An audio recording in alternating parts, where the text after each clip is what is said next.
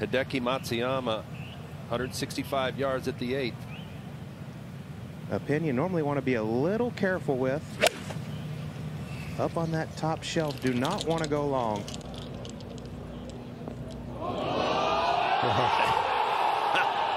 he didn't. Dry January's over, Kurt. Yeah, it is, Colt.